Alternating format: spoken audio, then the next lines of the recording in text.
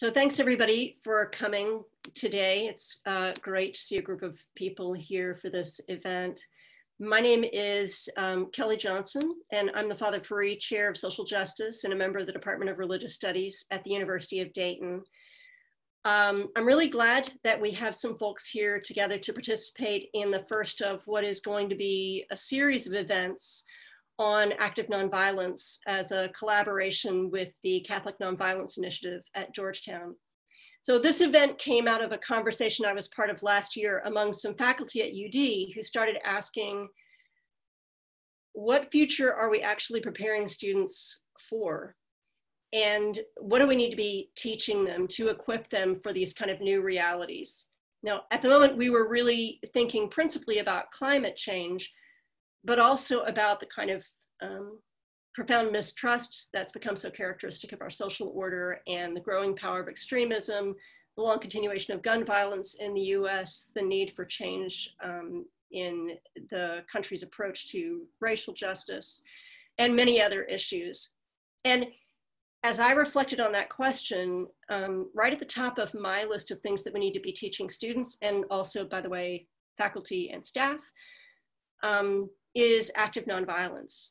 That is, we need to be learning ways to work unapologetically and effectively for justice in collaboration with other people in a way that is also working to heal and to create a social order that's based not on domination, but on participation.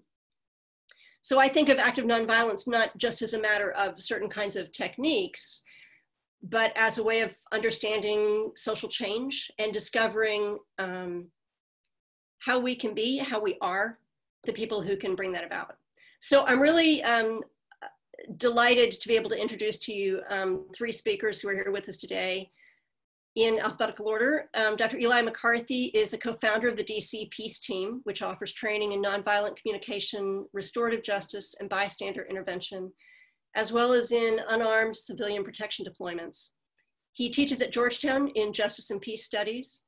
His most recent book is an edited volume entitled A Just Peace Ethic Primer, Building Sustainable Peace and Breaking Cycles of Violence. He was formed by multiple trips to Haiti, working with the poor, working with people experiencing homelessness in Boston and DC, and monitoring the Palestinian elections in um, 2006 with Nonviolent Peace Force. We also have with us today Dave Ragland, who is the co-founder and former co-director of the Truth Telling Project of Ferguson. His activism and research focus on moral injury and the possibility of transforming violence and intergenerational trauma against vulnerable populations in the US envisioning and working for a world with, reduced violence on all levels, and the intersections of critical race issues, decoloniality, restorative justice, peace education with African and existentialist philosophies. As an activist, an educator, and a scholar, David's work has been rooted in his home community near Ferguson, Missouri. His analysis is drawn from the radical teachings of Martin Luther King Jr., especially his description of the triplet evils of racism, militarism, and materialism, as an ever-present part of American life. Dr. Ragland focuses specifically on how our society conceives justice as retributive and proposes a shift toward a restorative justice that transforms communities and criminal justice systems. And third, we have with us Tabatha Thompson, who is a program officer with the Program on Nonviolent Action at the United States Institute for Peace, where she works on applied training, applied research training, and education to better understand and support nonviolent movements that are working to transform violent conflict and to advance just peace. She leads the programs synergizing nonviolent action and peace building, that's SNAP, training efforts. Prior to joining USIP, Tabatha led DC's largest all volunteer anti human trafficking nonprofit, DC Stop Modern Slavery. Her field research and her training experience including, include work with local activists and peace builders in East Africa, Latin America, Ukraine, Afghanistan, and Tunisia, as well as consultant work with the Department of Peacekeeping Operations in New York and Liberia. Tabatha has a master's degree with a focus on human rights, humanitarian policy, and conflict resolution from Columbia, Columbia School of International and Public Affairs and a bachelor's degree in international affairs and modern languages from the Georgia Institute of Technology. So I'm gonna um, hand the program over now to Dr. McCarthy.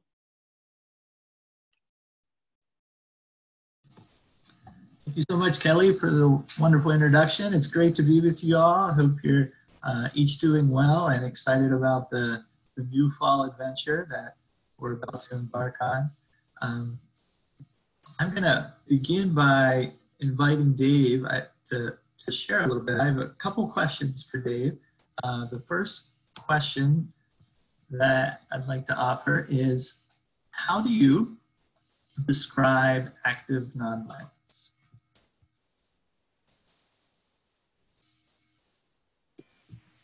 Uh, so I thought about this, but I'm still thinking about it. Um, I just I describe. I mean, I you know sometimes I actually dislike the the term nonviolence because of the you know um, it, begins with a negative. Um, but but I, I, see nonviolence as creative, uh, creating possibilities for um, peaceful action and justice. Um, and I see um, um, you know, I think our society has spent so much time perfecting and coming up with new ways uh, to be creatively violent, um, that we haven't put the energy into uh, nonviolent means. And, and I see um, active nonviolence is like sorely in this arena of uh, moving beyond what what people think as um, and I think this kind of like goes into like the the peaceful protester kind of thing, like um, um, or, or passive or um, unwilling to challenge authority, but I see active nonviolence as challenging authority, uh, challenging unjust laws, uh, challenging um, unjust systems uh, in ways that are creative, in ways that um, reinforce the humanity of the, the people who you are challenging as well. I, I see it um, as, you know, personally, I see it as a strategy. Um, and sometimes I see it as um, one of the options that violent societies prefer when facing um, other, uh, like, you know, in South Africa. Um, they preferred the route of Nelson Mandela um, because there were also people using violent means. Um, and I think sometimes societies will not um, entertain, entertain the peaceful option without um, the violent alternative out there. Um, so that's my particular perspective. You know, I don't believe in using violence because I think that it's too easy to dehumanize and uh, yourself and others but I think that that's the category our society or, or the space we fell into. Yeah, thanks, thanks, Dave, for getting us started. It's certainly uh, can be a tricky term, and, and some groups will have this phrase or this word "active" in front of it. Um, try to orient it a little way, but some interesting insights, right, about creativity and challenging systems, uh, but also reinforcing the humanity of the adversary. Um, the thought that you know violence is functions in a way that's too easy to de- dehumanize, right? That's a really interesting, I think, and important um, important thought. So let's dive a little bit more into like how this looks and some of the work that you've you've been doing in this space. So you know how do you how have you engaged with active nonviolence for racial justice. Um, you know, we know some of your big projects around the Truth, Telling Project and some of the alternative community security work that you've done. So could you share a little more detail about some of that?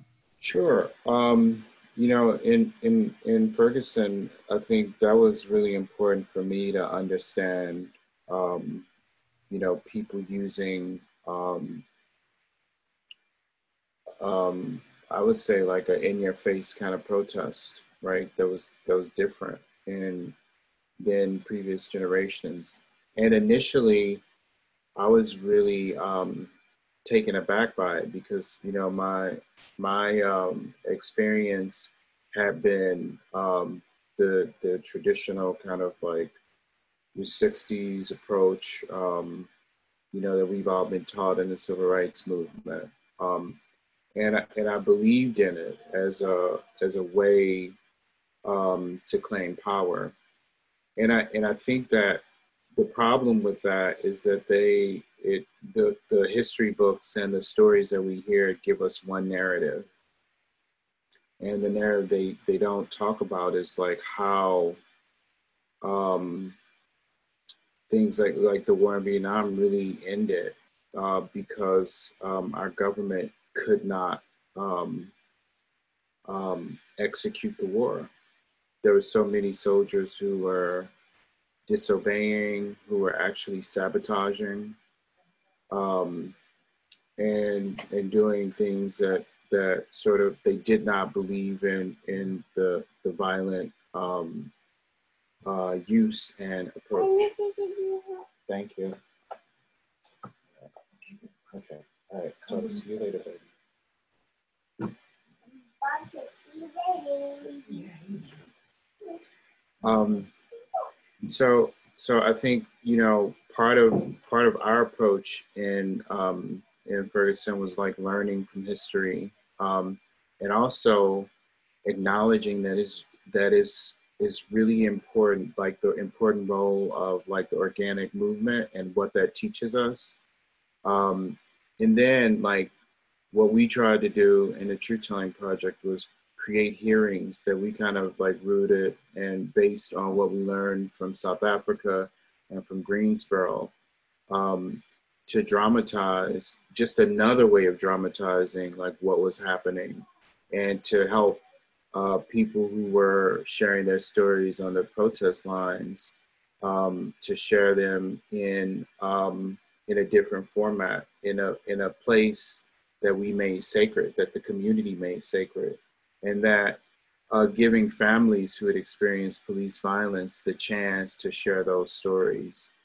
Um, and as, as Eli kind of pointed out, um, some of our organizers face threats, um, you know, just from from their own their participation in the protest and their um, you know political activities. And so um, as a as a ideology and a set of values, we were really committed to active nonviolence and committed to um, you know some creative ways to protect ourselves. Um, um, and so we've we've been engaged and well, well first we've been in conversation with um, uh, the DC Peace team, and then we um, work uh, hand in hand with them right now, um, protecting some of our organizers who have received threats um, and been threatened. Um, and, you know, just our polarized political environment has um, really brought out um, like some of the worst elements in, in our society. And so, um, at the same time, you know, I think we're we're not interested in in you know going down to that level. So um, it's been really supportive of this approach. I hope that's helpful. Yeah, thanks, Dave. Um, so this Truth Telling project was kind of based on a little bit out of what was happening in South Africa with the Truth and Reconciliation Commission. Right? So you had these hearings and people came and shared their stories and um, what happened after they shared their stories? Like what what was sort of the next steps with that? So um, we we created and so let me let me just go back a little bit. Um, we spent a lot of time uh, learning from Greensboro Truth Commission, and there were folks um, who worked on our um, on our project um, from South Africa who had worked on the Truth Commission in South Africa, and we we were we were really interested in truth and reconciliation, but our our community um, had questions about the reconciliation part, especially given the place that um, South Africa was at. Like they were, I think we're closer to this place now, but um, they were at a part, a place in their society where it was it was one or one of two directions: civil war, or figure out a way to come together. And um, I think we have to see truth and reconciliation as, uh, among other things, as a way that the state itself um, tries to um, continue its existence um, and try to try to deal with the the factions that um, that want to um, wanted to devolve into something else, or maybe not even devolve or evolve. Um, and so, but also, um, I really think that truth and reconciliation requires that um, both both parties, or or at least like the, the party that's committed the harm, sees what they've done as wrong. And um, for us, we didn't see that. Not only did we not see in Ferguson that um, that people thought that what Darren Wilson, how he murdered Mike Brown in cold blood, was wrong. Um, that that our system of justice did not even consider it to be um, murder, and wouldn't try it as murder, and still won't try it as murder. Um, and that's similar to many murders of African Americans in this country. And so, um, in addition, you know, um, every time uh, African Americans are murdered, Black folks, um, and, and now many white folks in this country are, and people of color are traumatized. Um, and so, we really thought it was important that we uh, focus on truth telling um, as a way that the community is heard and that we reset and be in charge of our own narrative. Um, and that's urgently important when, you know, uh, the media um, irresponsibly um, puts forward a narrative like rooted in uh, what uh, police authorities, you know, have offered up.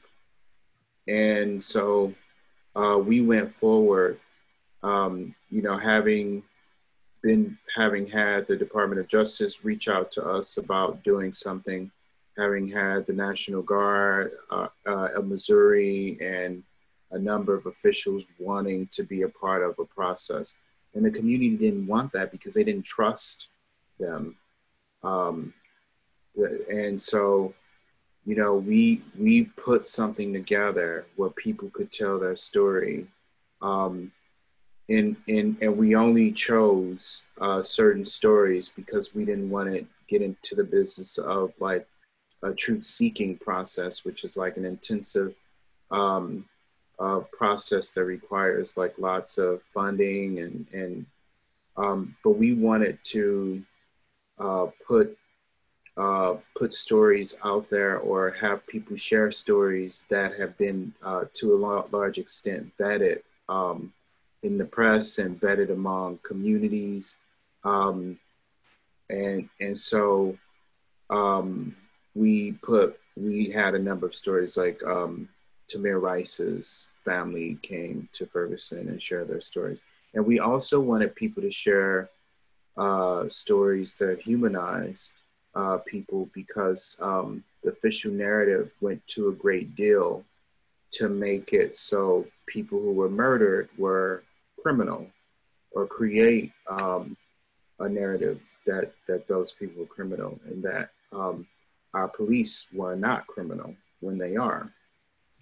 Um, and so um, we also wanted stories to reach uh, people around the country. And so um, we we worked with it, with some of our hearings with StoryCorps, um, and so some of our stories are um, with StoryCorps and in the Library of Congress. And then um, we also worked with, um, we created a multimedia site called it's time to listen.com. uh, with lesson plans that we're in a process of overhauling now. So you can go to the website. Um, but we are working on that and updating it. Um, and it's time to listen uh, was a way um, so that people can learn and that we can connect with teachers. Uh, we're in the process of um, planning a, a, national teacher convening on, on how to tell the truth about difficult issues like police violence. Um, so yeah. that, that's kind of uh, our approach. That's really helpful to kind of like paint the picture for us. I'm sure people have some other questions. So if you could kind of, you know, jot your questions down or hold them for a moment, I'm going to shift to Tabatha and let her share a bit. And then I'll wrap up with some, um, some thoughts about the DCP team. And then we'll open it up for the large group to have some more discussion.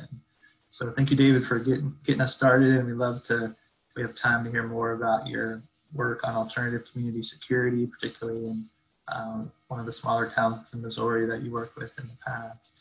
But Tabatha, could you share with us um, how you would describe active nonviolence or, or nonviolent action, perhaps?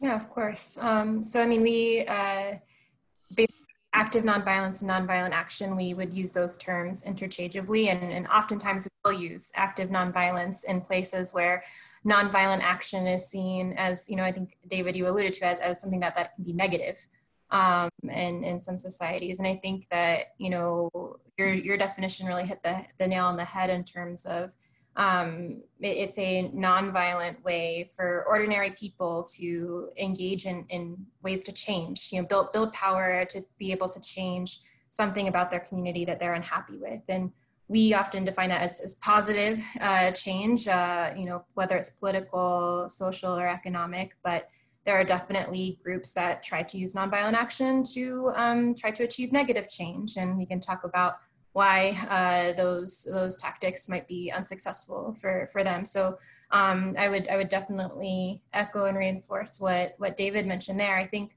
one of the distinctions that we make when we're working with activists and, and, peace builders in different places in the world is we generally distinguish not to create like an artificial silo but we try to make sure that that people are understanding what we mean you know when we say nonviolent action from the moral and, and principled stance and, and how that might motivate people to engage in this way of, of we call waging waging conflict but nonviolently versus um, looking at it as a strategic um, method and a strategic approach.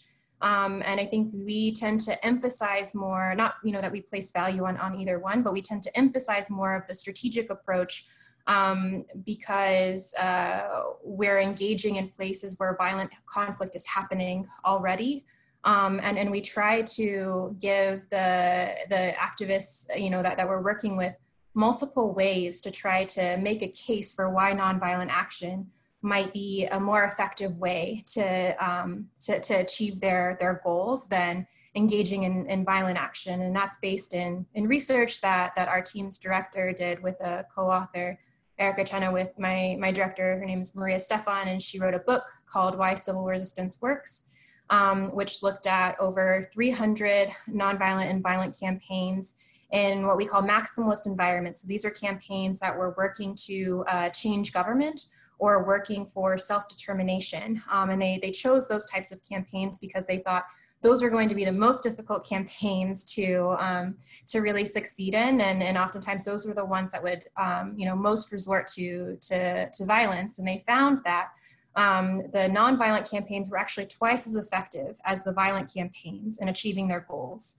Um, so I can um, definitely share some of the graphics and, and, stuff that are associated with that research. There was a lot of other interesting um, findings that, that came along with that. But that when we when we talk about nonviolent action, it really really do emphasize that that strategic choice. And so um, I'm just going to share a couple of pictures. I think um, especially in, in today, uh, people like the news headlines and stuff are always talking about, oh, there's a rise in, in, global protest. We're in the age of protest. And so when people think about nonviolent action, they think about marching in the streets and, and protesting, um, which are, you know, the, I tried to collect a lot of pictures from uh, different contexts and most recent examples of, of this protesting happening, whether it's in Iran uh, or what's going on in Hong Kong. We see the um, the Orange Revolution in, in Eastern Europe, and this uh, the bottom left corner is uh, a movement in Burkina Faso called Balai Citoyen, which means Citizens Broom. Um, but uh, in reality, there are a lot of other tactics um, and actions that you can take as part of, of nonviolent action. Um, you know, what, what David was describing, actually, you know, arts are such a big part of nonviolent action and, and peace building. And so just from what you were describing with, with the truth telling project, like that is a form of, of raising this issue and, and trying to, to get people to better understand and empathize and, and you know, recruit people to, to this cause and, and to you know seeing that this injustice is an important thing that needs to be it needs to be addressed. And so other ways that that you might engage in nonviolent action and um, we can share a, a list of um, different types of, of nonviolent action though that list uh, definitely needs to be updated and extended but Gene Sharp is um, a huge scholar in the nonviolent action uh, realm, and he came up with 198 different tactics you could use. But there are definitely more, especially in the digital age. So these are just a few different examples. You know, nonviolent action can take the form of training and and thinking through strategic planning for how you might sequence different tactics as part of a bigger picture instead of just going out and joining, you know, uh, a protest, which might just happen uh, on on a particular weekend. Um, it can be very symbolic. So in the bottom right hand corner um, we see uh, Burmese monks um, who are uh, basically um, denying the taking of, of, psalms from, from the government to, to protest violence that is happening against um, people who have been protesting against the government. Um, we see, I, I, have some examples of uh, nonviolent action age of social distancing where you see um, protests and demonstrations that are, you know, keeping in line with wearing PPE and um, being socially distant. The, What this one was in South Sudan a few months ago, where they were protesting the the violent um, rape and uh, killing of a, a, young woman in in Juba. Um, and these are just uh, some other examples of, of what nonviolent action has looked like in the age of of COVID, where you see socially distant protests um, in the upper left-hand corner. It's an example of a cacerolazo, which is happening a lot throughout Latin and Central America um, to protest the way government is responding to the virus um, and increasing repression. Um, we also see, you know, mutual aid networks. A lot of the uh, organizations and networks that we're working with around the world are um, using their existing infrastructure for organizing and uh, instead, you know, collecting food uh, to provide communities and really filling a gap in, in government services that is really kind of creating this alternative, you know, constructive um, uh, institution and intervention um, and, and the society and, and future they want to see where we're taking care of one another versus what, what exists currently. So that's a, probably a longer than needed answer to your question, Eli. Thanks, Tabatha.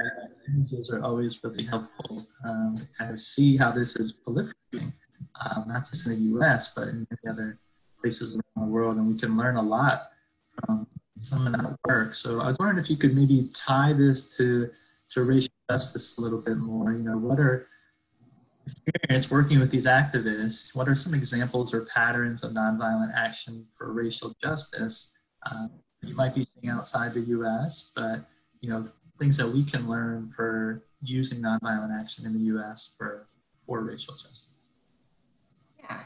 Um, so I, I, picked three and I tried to make them kind of geographically diverse of groups and, and activists that we've had the opportunity to work with through the years that um, are working on um, particularly like racial, uh, ethnic, or, or, tribal issues. And so um, the first one that you can see in the, the um, left side of the screen, uh, it, it's actually you know, there, there's this is a, a, case from the Caribbean coast of Nicaragua where there are a lot of indigenous um, communities that are uh, really trying to, to push for um, basic human rights and, and land rights and um, the ability to, to cultivate and um, benefit from the land that has been in their in their family for for generations. Um, and then uh, the upper and, and that's you know kind of synonymous with a lot of uh, indigenous movements right now in, in Central and, and Latin America. Um, and then the upper right hand corner, this is uh, from a Hazara led movement in Afghanistan um, that was called the Tabassum movement. And the Hazara community is a is an ethnic minority in Afghanistan that has been experiencing a lot of violence. And so this um, movement was specifically to try to hold the government accountable to some violence um, that had happened against uh, seven Hazara um, members. And then the bottom right-hand corner, I think is something that, that David and Eli have already mentioned. This is the anti-apartheid um, movement in South Africa and some general trends that, you know, we can make across a lot of these different case studies is um, these movements are, are, largely start off as being led by these, you know, marginalized peoples and, and communities, um, but who have been doing this work for generations and generations. When it comes to sustained organizing, they have really like mastered mastered that. Um, they are much more concentrated in local issues and trying to achieve um, you know, gains within local governments or, you know, at the level of the municipality. Um, but when we've seen these movements become, um, you know, more successful in, in, achieving some of their goals or making, getting some concessions from um, the, the governments and people in power, it's when they're able to, you know, recruit people from outside of their community um, to, to march with them, to um, engage in nonviolent action with them, um, and, and to teach them about their way of sustained organizing um, as well as uh, being able to understand the full context in which they're operating and take advantage of different peaks in which they can tack on to other issues and, and help their local platform be you know more subsumed into a national platform but in a way that doesn't you know allow for the loss of, of their issues being prioritized in any sort of national platform. Um, so those are some some things that we notice of, of like when they have been more more successful. And i think you know the the big key thing that um, a lot of these movements uh, that make them successful and that allow them to do this is in strategic planning and how they engage and and kind of um, bring up younger activists within their communities and do training around strategic planning and how to think about who their target audiences are to, to be able to mobilize and, and how do they reach them and um, where do where do they reach them? And and thinking about um, you know the local and national level issues or when there might be an opportunity to sequence you know internal pressure they might be providing with external pr- pressure from other governments or international organizations um, that that kind of investment in strategic planning allows them to do that. And so when we actually are doing trainings in different places a lot of the people who have the knowledge already and, and to help us contextualize you know our, our curriculum are people from these communities. So what this means for for us is is really you know and i think that this has been shared a lot already by you know nonviolent action uh, scholars and, and practitioners in the us but really relying on on these long-term structures that already exist. You know blm is um, i think the the latest iteration of the long-term civil rights movement. Um, and, and so, you know, really taking the lead from people who have been most um, marginalized and most affected by these injustices and looking at the existing infrastructure and figuring out how to, to plug in instead of forming something that's duplicative, moving beyond tactics to strategy. Um, so, you know, not just thinking about these different things that you may engage in and, in, um, you know, one-off kind of approaches, but what this looks like in the long term. Um, and then just being able to you know connect the grassroots and the local with the national where it makes sense but then also make sure that you're you're you know that it's a two-way communication and that you're taking these national level issues as well and talking about what this means at the local level so that you're not losing um, what is driving people to the streets in the, in the first place um, as they as you're trying to push for something that's a little bit more national Great. That's really helpful, Tabatha. Thanks for kind of identifying some clear and learn and you know, big emphasis on like strategic planning, right? And it doesn't have to be this real depth, in-depth, scary thing. It's just about thinking, you know, wisely about what our goals are and what kind of actions and sequence will will kind of get us there. Um, so let me um, share a little bit about the DC Peace team, and then we'll open it up to others' input and questions around active nonviolence and, and racial justice. So my kind of present perspective about active nonviolence has really grown out of a lot of recent encounters over the past few years, particularly with people living in violent conflict zones from around the world. We've had two global gatherings in Rome with people from um, Africa and Latin America and Asia and we've also done regional gatherings in many of those spaces. And these are folks coming coming from the war in Iraq and Syria, but also you know, the Philippines and Colombia, South Sudan, um, Nigeria, and so forth. So let me share with you one quote from a sister named Nazik Matty from Iraq. This was kind of a, a quote that she shared at one meeting in Rome. She says this. She says, War is the mother of ignorance, isolation, and poverty. I say this as a daughter of war. We can't respond to violence with worse violence. In order to kill five violent men, we have to create 10 violent men to kill them. This encourages the spiral of violence up and up. And the people are so exhausted because they don't know what's happening. It's like a dragon with seven heads. You cut one, and two others come up. So we heard many stories like that, and I'm going to put in the chat box uh, a link to a Google Doc, which just has some has that quote in it, and some other things I'm going to reference here as kind of walk through a few pieces about active nonviolence. So growing out of these stories and these like deep, urgent uh, calls for a turning to deeper understanding and commitment to nonviolence, um, we can also draw on other leaders like Martin Luther King and Dorothy Day and Gandhi. And there's kind of four guideposts that I just want to highlight from their work, which I think is helpful for our reflection. One is that nonviolence is a way of life for courageous people. And this is about our daily practice, right? To what extent can we grow in nonviolence in our daily, ordinary life to make it a habit or a virtue?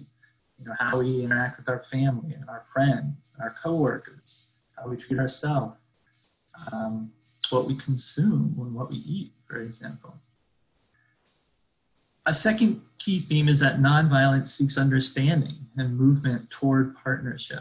So we've got big scale examples like this with Gandhi in India, you know, with his nonviolent movement over many years. And when the British left after occupying the country, they still had many characteristics of uh, partnership, if even a friendship with India. King talks about this as kind of choosing loving connection rather than hate or disconnection, because he sees nonviolence as a constructive force, not just not this sort of obstructive force, but something that's constructive. And his point under this is that we don't want to reinscribe the kind of us versus them mentality or way of acting because we know in the long run this becomes a seed for more violence.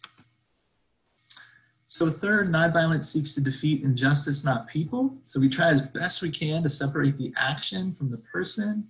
You know, no matter what we do, we still maintain our dignity. And when we can act this way, this can actually throw the adversary off balance because they often expect like hostility or humiliation or direct violence in return. So a good example, David Hartsough, he was in the lunch counter sit-ins in the civil rights movement in the 60s in the US and a man broke into the the restaurant he was doing a sit-in at, and he had a knife, and he ran it up to Dave, David's heart, and he said, "You got one minute to get out of here, or I'm going to run this knife through your heart." David was meditating a bit before this, and he took a moment, and he said, "You do what you have to." And I'm going to try and love you just the same. The man's hand started to shake with the knife. And he started to walk back. He turned around and left the restaurant. David was able to separate the action from the person.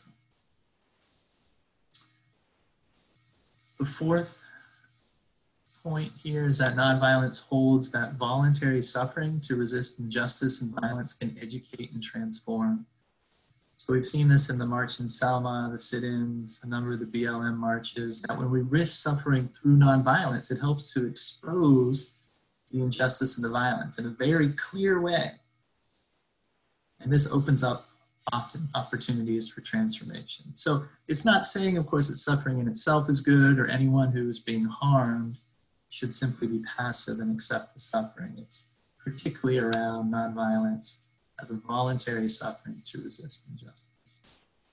So you'll see on your participant doc that there's a, a little broader description, a working description of nonviolence that kind of draws from that, but also many of these stories that we've heard and you know, just to kind of name some elements about it, that it's a positive reverence. It's a positive reverence for dignity and life, as well as the constant effort to try to avoid dehumanization and participation in other types of violence. And then there's other elements underneath that, which Dave and Tabatha have mentioned in different ways as well, but also a spirituality, a way of life, um, and an intersectional approach to social issues, So let me just wrap up with, with a couple, uh, two or three more minutes about the DC Peace Team. Um, so we've been around since 2011. Our mission is really to try to cultivate these habits and skills in our ordinary life so we can become more nonviolent people and resist injustice. We've got three basic spheres of action. One is training. We do training in uh, nonviolent communication, which is like interpersonal conflict, where you're trying to identify feelings and needs so you can get to the deeper roots um, and make specific requests. Um, we've also used nonviolent communication training around issues of power and racism. We have sessions on that. We have one coming up tomorrow, actually, on that topic. Uh, we've done NVC with marginalization in the workplace um, with some folks here in the DC area. Bystander intervention is another training that we do. This is about if you're come upon a situation that you haven't expected and someone's harassing another person, um, how can you intervene, diffuse, enable the person who's being harassed to kind of unleash their own agency in the moment? And we have a number of kind of tactics that we that we share for that. Um, restorative justice circles, you've heard a little bit about that uh, through Dave. And then unarmed civilian protection. So Unarmed civilian protection is deploying unarmed civilian protection units to places of potential hostility.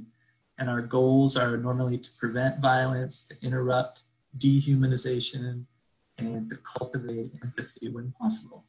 So some examples are like there's neighborhood situations where uh, place called Gallery Place in DC where youth have sometimes gotten into some fights or police have harassed the youth. So we go there to monitor and, and intervene at times. Um, we also have been um, working in St. Louis, accompanying uh, a Black woman community organizer who's a candidate for office who requested some um, accompaniment. So we have a team there that we help to train and coordinate. And we also do political demonstrations, so protecting those most at risk and trying to support nonviolent resistance, but these are places where there's a, usually a counter protest. So like the Republican National Convention, 2016, uh, Unite the Right rally in DC, March for Life, been to the southern border in Tijuana and San Diego around immigration events as well. So those are some examples. There's a, a binational network called the Shanti Sena Network of peace teams in the US and Canada. If you wanna hear more about or become part of that, to let me know. And our work is really a lot based on human dignity, trying to illuminate the dignity and unity of all people, that we're one human family. And this invites us to communicate with the actors, um, all the actors in a particular conflict as best we can. So let me leave you with this um, one other resource. It was also noted in your participant doc but it's an alternative community protection brief or alternative community security brief.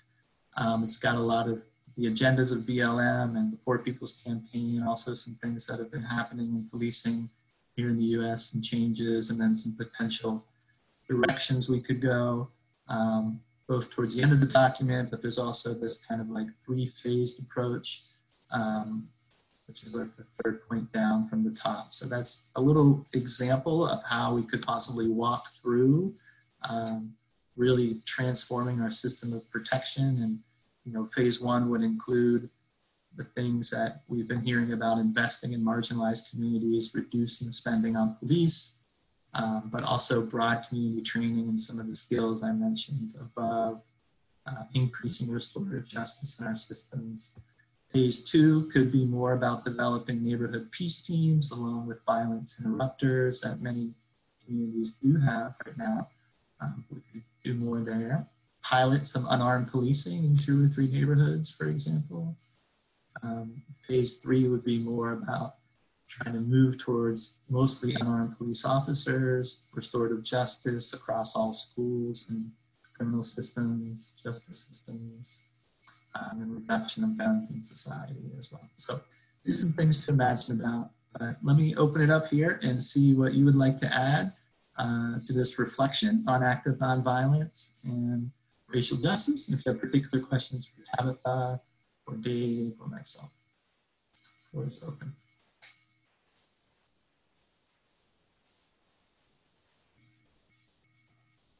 Um, thank you guys. I sometimes it's hard to break the ice, so I'm going to go ahead and break the ice, but don't let this stop anybody else from jumping in. This is just the official icebreaker.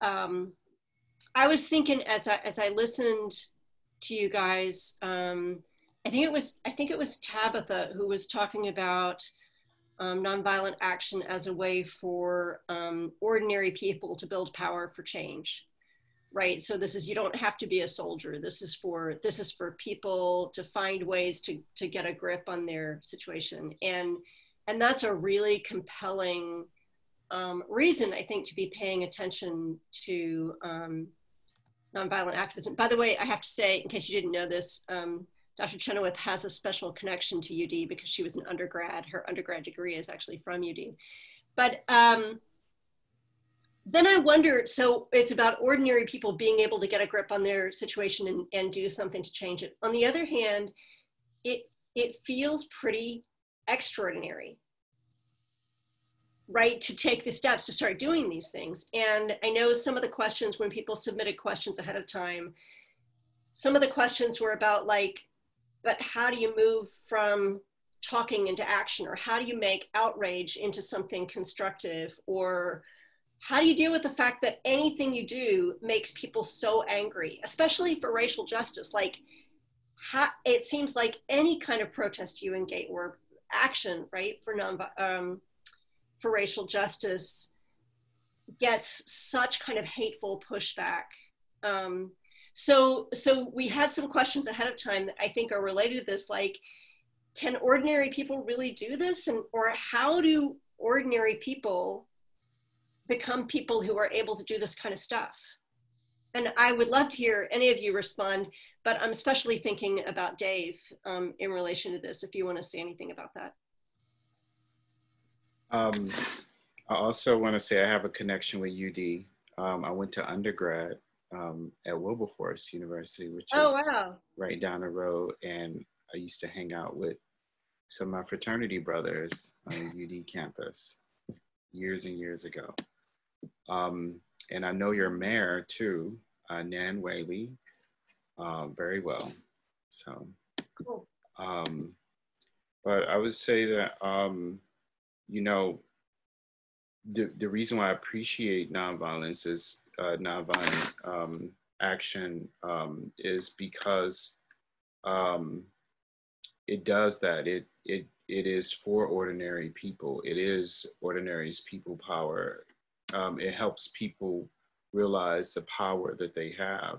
Um, and you know, I want to point out, like for instance, people like Cori Bush, um, who who just won her uh, Democratic primary in the Missouri congressional district.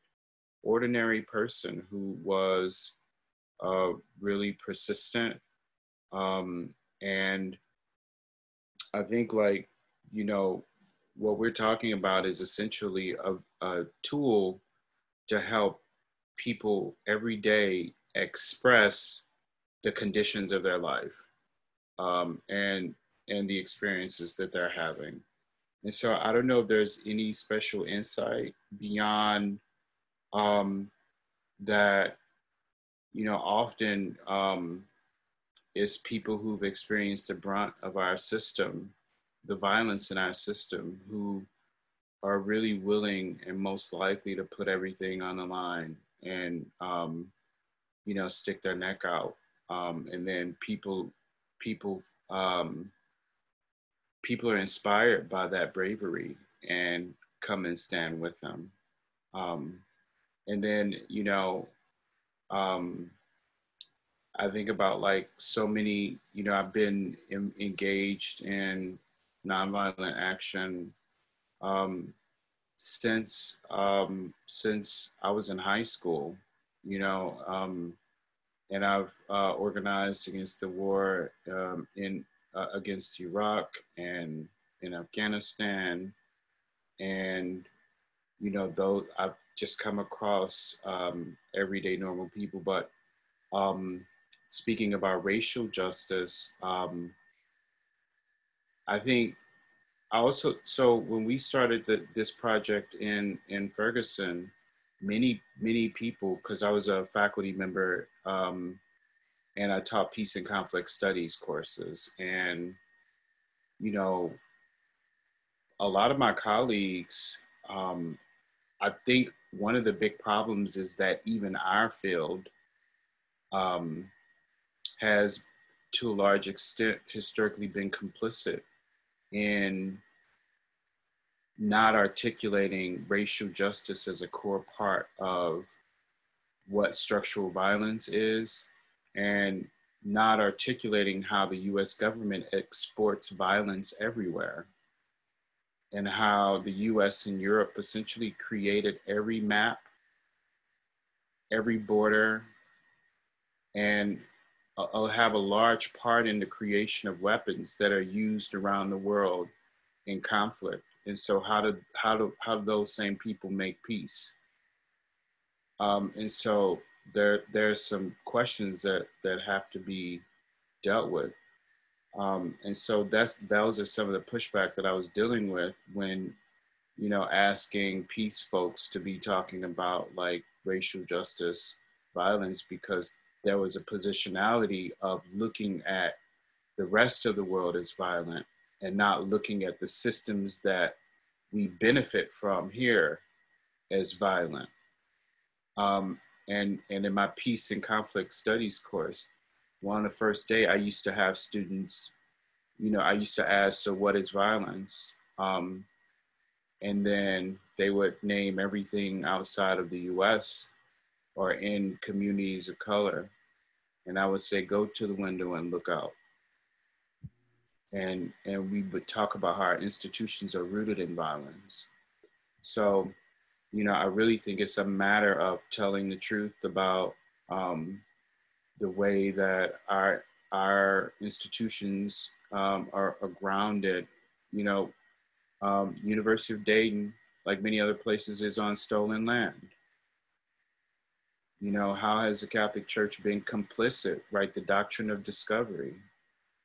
And so, what, I mean, until the institutions um, tell the truth and begin paying reparations, um, it's going to be hard for for our textbook manufacturers and other people to actually come forward and educate people about our real history. So you know, to a large extent, you know, we face so much violence because the people who should be telling the truth don't.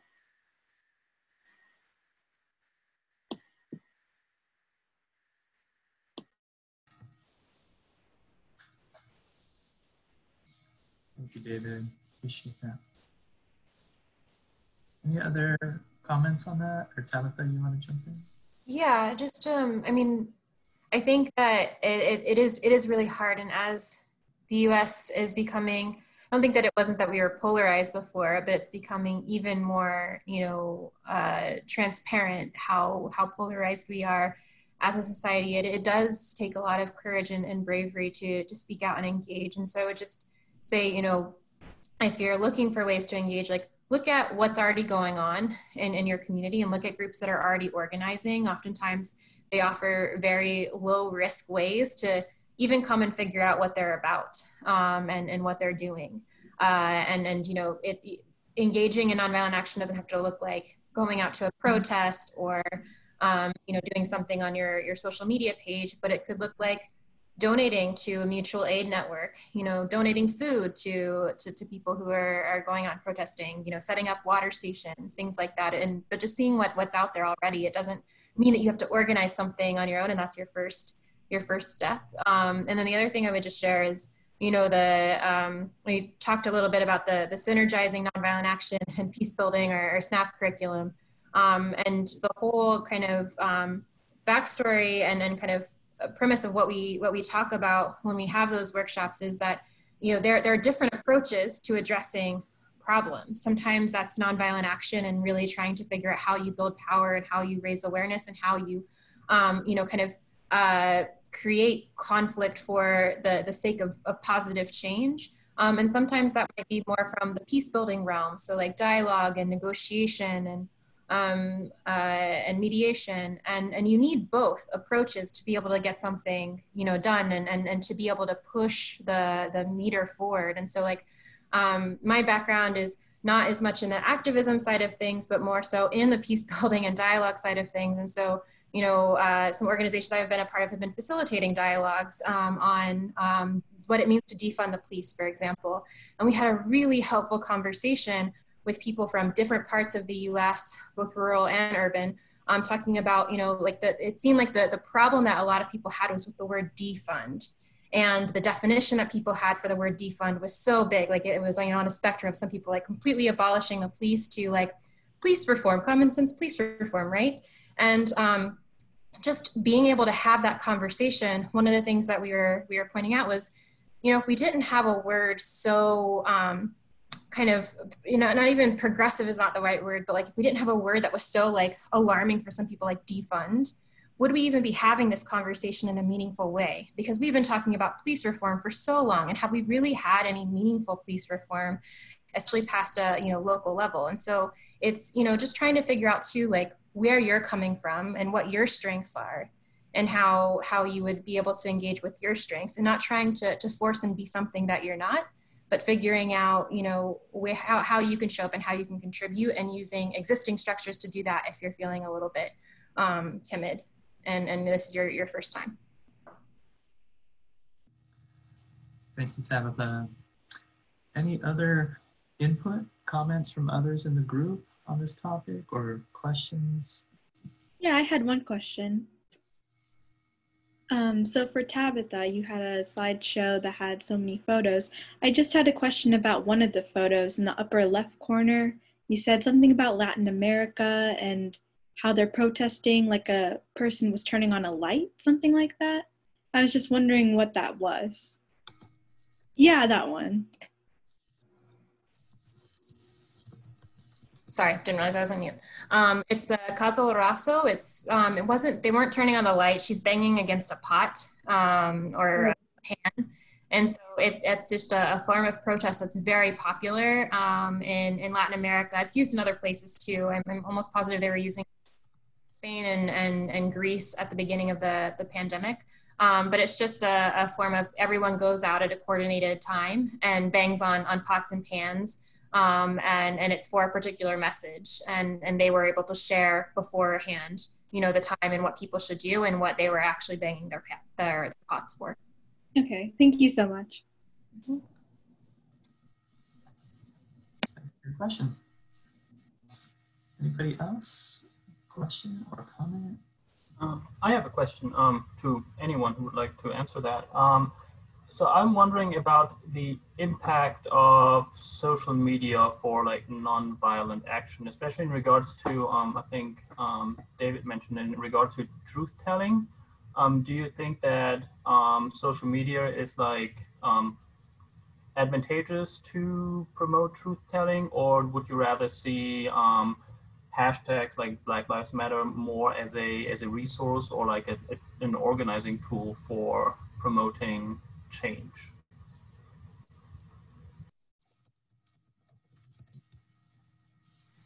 Can, can you can you ask it again? I'm trying to understand the question.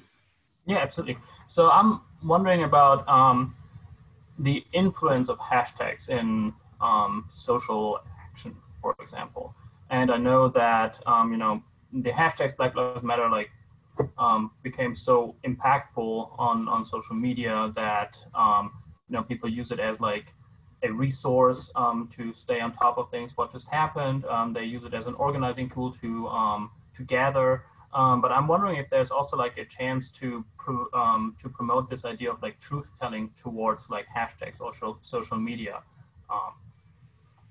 Yeah, I mean, I think yeah, sure. I think you can use hashtags to like um, to help people identify stories. You know, I saw this you know, I saw this in the Me Too movement, and I saw it recently uh, when women were telling their stories about um, actually in Puerto Rico, where uh, women were telling their stories about uh, particular people, a particular person who had been accused of um, sexual assault and had denied it.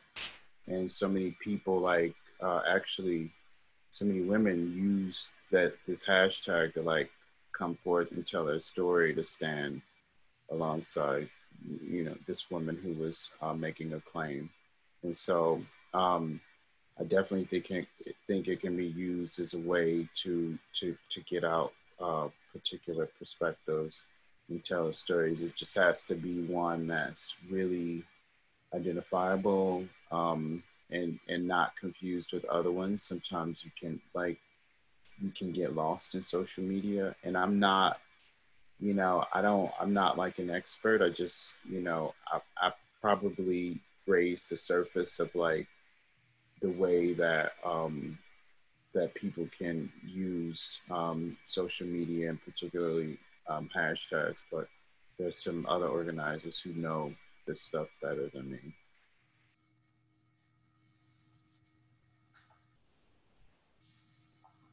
Thanks for your question. Tabatha, anything you wanted to add on that? I think that um, it's interesting. We're, we're starting to do a little bit more research on social media and especially on um, digital authoritarianism and how not just nonviolent movements are using social media to, to organize, but how governments are uh, using um, social media to spread disinformation and, and, and repress people that are organizing that space. I think one of the challenges in, in different spaces is seeing, you know, how social media as a tactic, uh, depending on what, what it is, um, how that might uh, increase or, or decrease the, the, you know, how, how successful that as a tactic can be. Um, and, and oftentimes, you know, a lot of um, people who are experts and have been studying this a lot longer than I have, they'll, you know, share that you, you need the mixture of offline and online tactics, but that because of the age we're in, and especially with the pandemic, um, movements are, are relying uh, in, in general a lot more on, on social media, and that might be one of the contributing factors to the decrease in effectiveness of, of nonviolent campaigns that we're starting to see over this past decade. But there hasn't been enough enough research in that field yet. Thanks, Tabatha. Any other questions or input from your own experience on this reflection of active nonviolence and racial justice? We have about 10 minutes to go.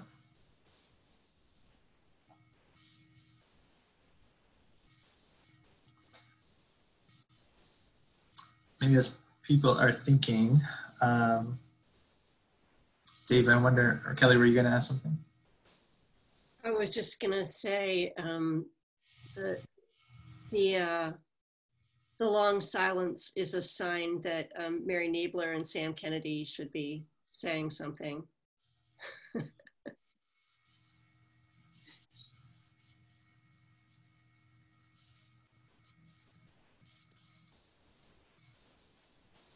or not. Oh, go. Yes. I, I will. I'll take your call out there, Kelly. Um, first of all, thank you everyone for your expertise, your experience, and all the work that you do.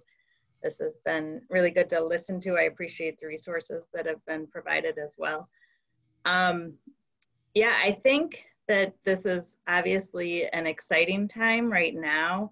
And as we get into a new semester here at the University of Dayton, I'm interested in how to um, engage the energy of students while also respecting all the constraints we have at this moment. It's obvious that it can happen because it's happening everywhere and people are, you know, being actively engaged in, in social change in so many ways. So I think that um, thinking outside the box and being creative, like Dave was saying from the get go, is so important. And um, I look forward to seeing what kind of things our students want to do, both on campus and off campus, in a variety of different um, areas of social change. So I don't know if anybody has any, you know, suggestions on getting started with that, or um, those who have been, you know, in the folds of it in this new way of of living during this time. Um, yeah, I'd welcome anything.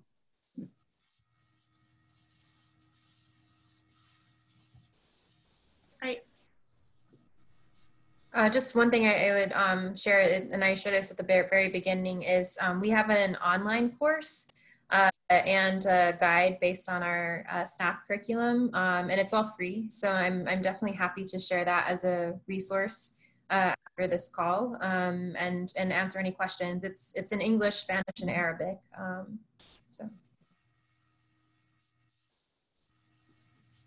And the focus of the course, Tabatha? just nonviolent action in general? Yeah, sorry. So it's it's on our synergizing nonviolent action peace building curriculum. So it's looking at and doing deep dive into well deeper dive into nonviolent action in our civil resistance courses. We have three of those, but um, it's it's more of a this is what nonviolent action is, and these are some skills. This is what peace building is, and these are different methods and approaches and skills. And these are strategic planning steps that um, are used by practitioners in both fields um, to be able to help you better understand how you might be able to sequence and integrate nonviolent action and peace building tactics to achieve their, your, your goals. Because the idea um, and kind of what we've seen um, with nonviolent action, peace building in general, is that they kind of evolve separately when it comes to training and, actual practice. Um, not necessarily when it's, you know, when you're talking to people on the ground that sometimes they'll go back and forth in between, but like from the, the, the training itself, there there isn't that space to come and think about it from a more strategic um, standpoint. So uh, that's what the the course is is framed around. That is great. I think um, strategy is where I definitely fall short. Um, I used to teach a course on campus on um, the spirituality of nonviolence, using a lot of like Pake Bene resources and looking at that journey more internally and everything uh, with the hopes of moving towards some more active um, strategy, but I would yeah, appreciate some strategic outlook and planning is important. If you put something in the chat box, do you want to say what that was? Sure. I just put in our online um, resource, and I can also put in some um, articles um, that might be helpful for folks. That would be great. I, I've, I've been sitting here kind of thinking, well, uh, well, in, in the first place, I was really um, struck by the example of starting a class um, on nonviolence by asking people, so what is violence, right? And, and I started imagining if we were to begin there, and I'm thinking about UD, right?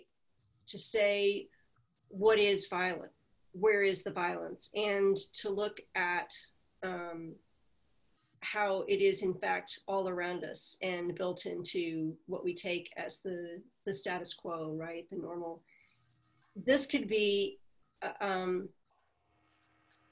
you know, there's a sense in which uh, when we when you construe nonviolent activism broadly enough. I mean, maybe that's the kind of truth telling that would be important nonviolent activism for us at this moment at UD, right? To just um, to analyze really seriously and to say loudly and clearly the ways that there already is violence built into what people don't generally meet as um, violent but it's just a thought I was having you know, on the sort of on the cusp of a new semester and thinking about in what ways is education contributing to either either sustaining um, a, a, a, kind of implicitly violent, structurally violent situation or challenging it. Seems like an interesting question to think about how can the classes themselves be acts of nonviolent activism.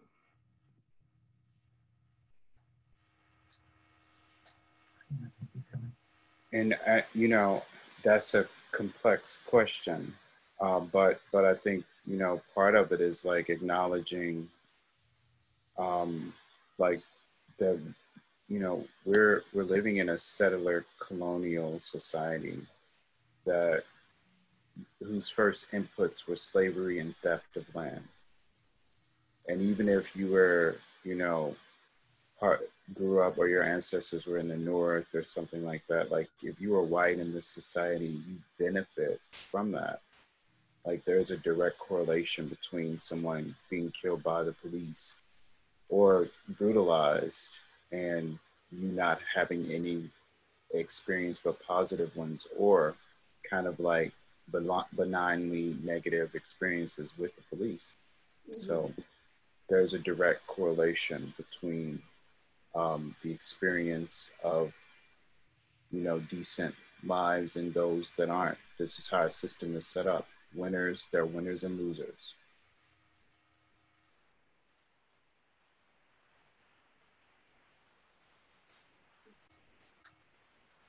Thank you, Dave.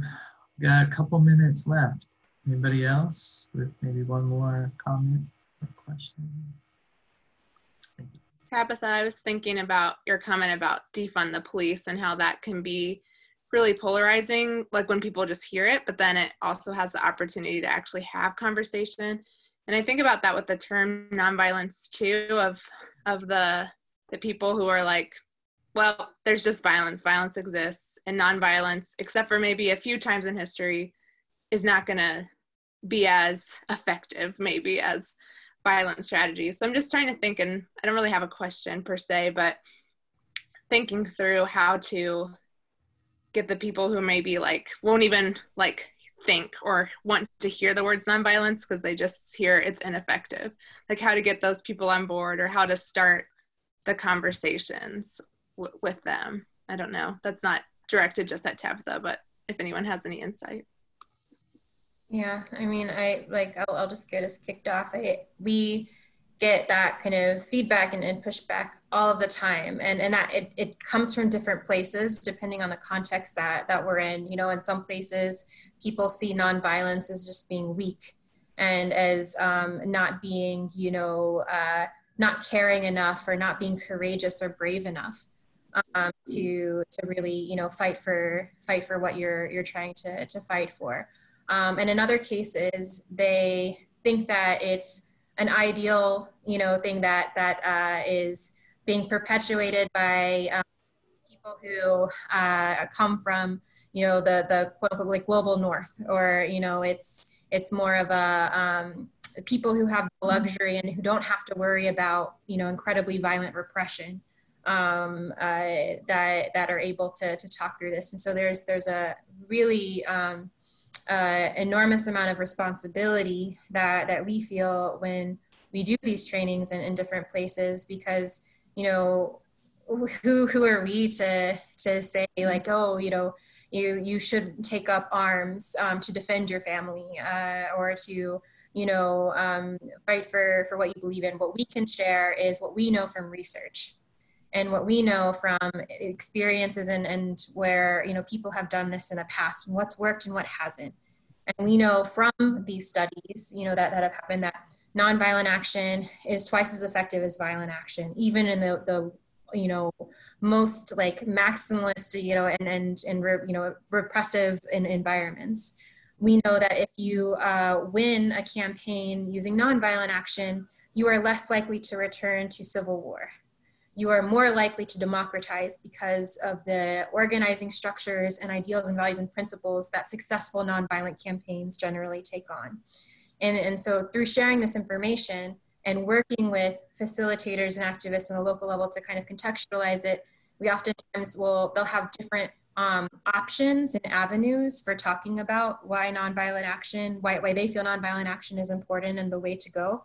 Um, but uh, that message is so much more powerful when it's coming from someone who understands and, and lives the context than it would ever be coming from me or Maria or you know someone who is looking at it from from the outside. So I think that that's always always important, and it's always like you know trying to approach the answer from a place of humility and and just trying trying to provide that information. Thanks, Tabatha. All right, we've kind of reached our our time um, for this session. Um, I just want to wrap up with some thank yous to Tabatha and Dave for your wonderful spirits and your creative activity in our society, and Kelly for providing the space to get this conversation moving um, as kind of a first a first moment of three moments um, here at Dayton. You know, I heard Kelly talk about telling the truth of our systems at the university and more broadly that Dave was encouraging us to. And, um, you know, maybe thinking about what organizing is happening around us locally in our in our communities and cities and trying to connect with them. Um, I encourage you to, to read the Antoinette Tuff story. Uh, it's one of the links on the participant doc that I, I shared, and it's a it's a good story to I think uh, express how powerful nonviolence can be with a, a gunman who broke into her school, and she was able to, to de-escalate that. And then finally, you know, one of the things that happens a lot at our uh, colleges is like bystander situations. So uh, bystander intervention might be a training that um, might be uh, useful or fruitful for the, the college experience. So something else to, to think about. Kelly, anything else you want to say to wrap us up?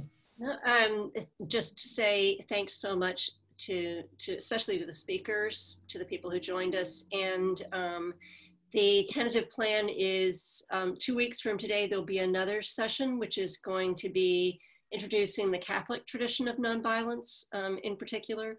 So since you signed up for this, I'll be sure to have you on the list to get an announcement about that as soon as that's organized. Um, but uh, yeah, spread the word in your networks. Um, this is a conversation I think that we need to get started and there's something very powerful even about a group of people just raising these questions together. So thanks for the first steps not exactly first steps. Not like there hasn't been anything going on before, but anyway, first steps this semester.